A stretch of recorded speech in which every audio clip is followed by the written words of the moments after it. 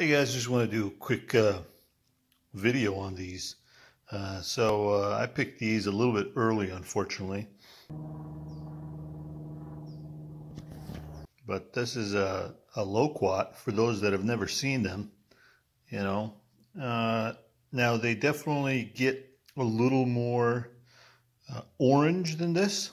So they're yellow now, and you can see there's a little bit of green in there.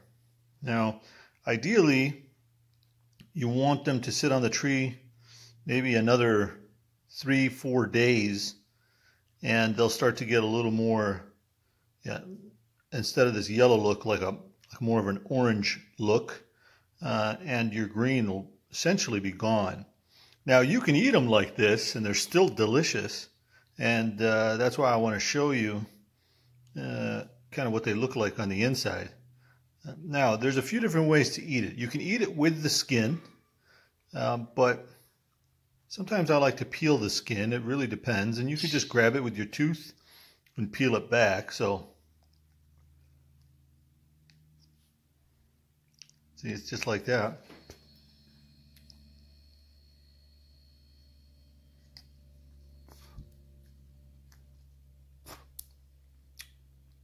Sorry to be a little gross here, guys. Spitting out those pieces, but trying to work with one hand. But that's what the flesh looks like on the inside. Super juicy, sweet, sour. I'm trying to think what kind of a, a fruit it compares to. Mm. You get a little flavor of like maybe citrusy mango,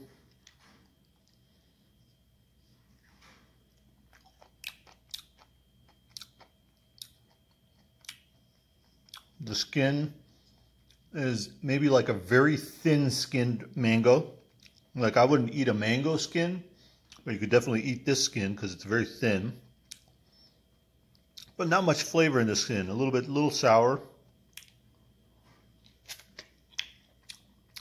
But the flesh is delicious. Juicy, refreshing.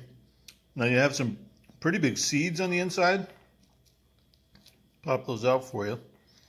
So this particular one has four seeds. And you could eat the whole thing, but I usually leave the bottom, so I just eat around it. Mmm. Really, really delicious fruit.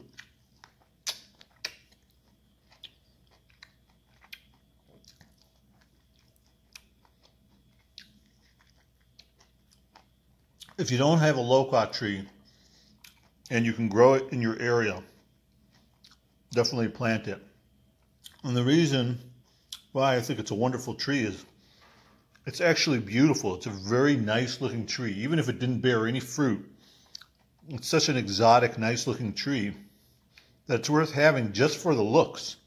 But to top it off, it produces delicious, attractive, practically pest-free um, fruit to top it off. It's just a win-win. The only thing is you have to be in a, a fairly warm region. I think you got to be probably maybe zone seven uh, or warmer.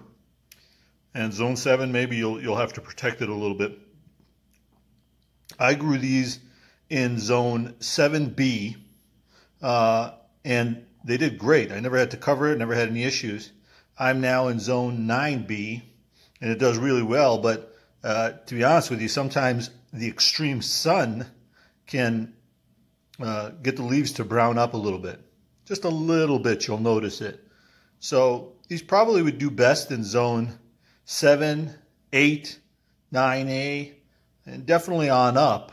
I mean, it, it does well in a hot place, but a little more sensitive to the extreme sun if you live like in the desert uh, when it's a very young tree, but definitely still plant it.